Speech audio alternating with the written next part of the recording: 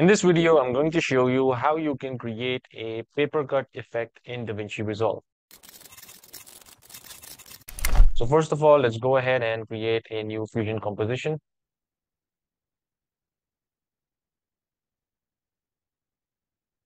Let's add our background. Okay, in order for this to work, you need to download some textures. So you can go over to unsplash.com or any website for free textures. You will find different textures. You can go ahead and choose any textures that you want.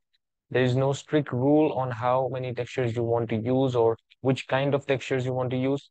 I just went ahead and downloaded some clothing textures. So it looks like this. As you can see, some look like this, some look like clothing textures. You can even go ahead and use some cardboard textures as well. So this totally depends up to you, which kind of textures that you want. You can go ahead and use them. So make sure that you know what kind of a text that you want. So right now I need a four letter text. I'm going to go ahead and write a four letter text. So for that, I only need four different textures. So I have more than four textures because I also need one for the background, but I just went ahead and downloaded all of these, but you can go ahead and download as many textures as you want according to how many letters are you going to be using. So right now I'm going to go ahead with four letters. That's why I'm going to choose four different textures and one texture just for the background. So let's go ahead and get started. So first of all, let me go ahead and drag this texture, MediaIn one. And now what you can do is you can drag this polygon tool right above it. And now you can create a shape like this. So this can be any random shape. Then go ahead and connect it with the MediaIn one. And as you can see, we have this over here. Now what you need to do is you need to select the merge and then move it around. So make sure you have the merge selected if you want to move. And now what you can do is you can drag a text. So go ahead, connect this text with the merge and you can go ahead, write any letter. I'm going to go ahead with B and for this, I'm going to set the font at Open Sans Condensed. And let's drag this right here. And let me also increase the size a bit, like this. And I'm also going to just give it a bit different rotation. So you can do that in the layout section, like this. All right, so this is the first text that we have with the texture background. Let's go ahead and do it for another one. I'm going to drag this texture and once again create a mask. So you can go ahead and do this on your own. I'm just going to quickly show you. Just go ahead and follow like I showed you with the letter B. Go ahead and follow the same steps. So I'm just going to quickly go ahead and make these.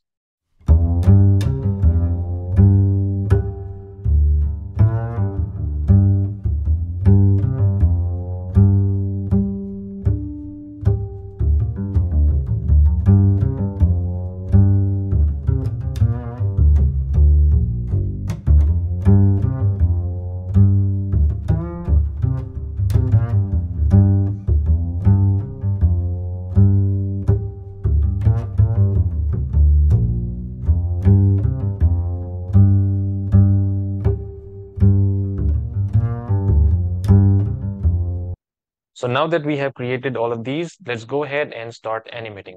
So first of all, I'm going to select this polygon tool and you can see that we have a rotation over here. So let's go ahead and create some keyframes. So I'm going to set a keyframe at rotation Z, then go over to 5 and change the rotation a bit. Go over to 10, change the rotation again, 15 again, and at 20 once again. Once you have that, go over to spline and select your polygon one and make sure all of these are visible. Select all of them and set it to set loop. Now, if you go ahead and play this, you'll see that this is how it will look like. But what you can do is once again, select this and also click on step out. So now if we go ahead and play this, you will see that we get a stop animation like this.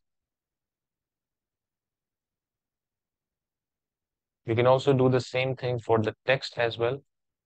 Set the font, add this, and then you can go over to 5 and you can then change the font to something else. Open Sans, then at 10 you can again change the font. And at 15, once again, change the font, and at 20, again, change the font. And then go over to spline and make sure that your text is selected and then select all of the keyframes and click on set loop. And this is how it will appear now. So let me go ahead and quickly do this for the rest of the text as well. You can also go ahead and follow along.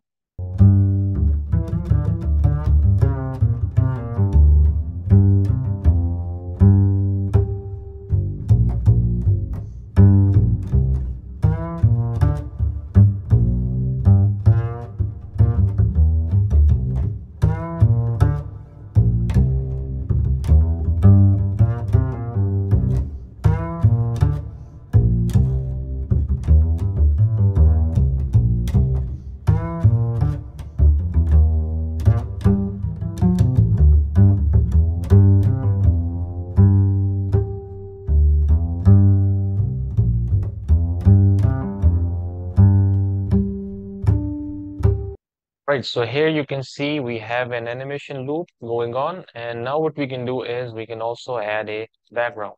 So this is optional. You can go ahead and do this if you want. I'm just going to show you because this will look much better. So if you go ahead and change the angle and go ahead and set it to the background. And now if you go ahead and play this, you will see that this is how it looks. So this is how you can create custom paper cut animations that you see in many stop motion videos. So this is the way to do it in DaVinci Resolve. I hope you like the video and I'll see you in the next one.